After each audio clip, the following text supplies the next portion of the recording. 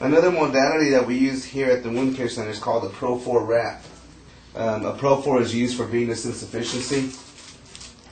Um, and so the Profore wrap is made to actually um, get the swelling out of the legs and allow the ulcers underneath it um, to heal up. Uh, compression hose also do the same thing, but with compression hose you're limited to your coverage as far as uh, the compression. Most compression hoses go to 40 to 60 millimeters of mercury, but they're really, really hard to pull up, especially for the patients. So we actually wrap them here and do an every other day dressing change. Um, the Profores here are made to, to be 40 to 60 millimeters of mercury pressure. Uh, you want to start right at the top, right at the back of the toe, and just work your way up. The first layer is a cotton wrap. The cotton wrap is made for comfort.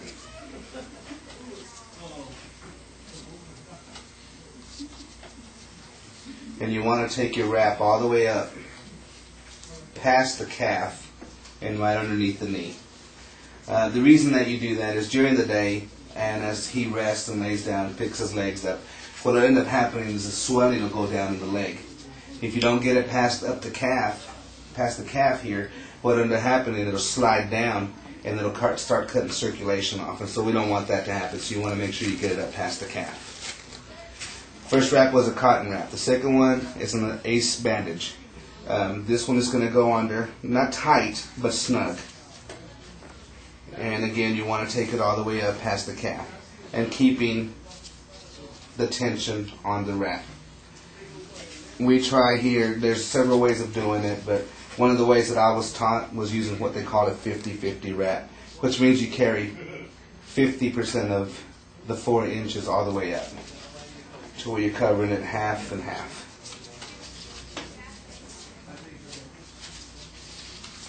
And you just take it all the way up.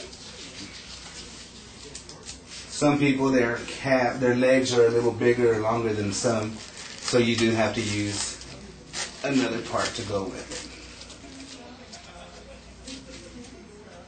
it. With the Velcro, that makes it a lot easier.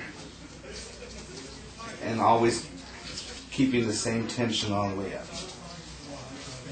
If you don't keep the same tension all the way up, you'll end up with different spots on your legs that are going to be tighter and you'll end up leaving marks. All I'm doing is making sure the tension stays by taping it in place. the last wrap that we use is called a Coflex or a Coban wrap. This one's the main one that really tightens up, so you really want to watch it with this one. You don't want to use more than one roll, you just want to take it all the way up to the top. Again, you'll start right behind the toes. And just work your way up, keeping just a little bit of tension in place. This one is also wrapped like the other, a 50-50 wrap or a half and half, whichever way you want to call it. Which just means you're covering half of the wrap at every turn.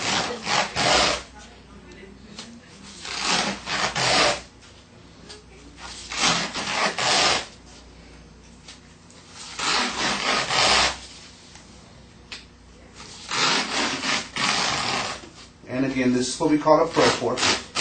It's used for venous insufficiency. That's the main one that we use it for three layer wrap, reduces the swelling, allowing the wounds to heal underneath. And that's, I just rub it to get every one of them to seal. And that is a Profore.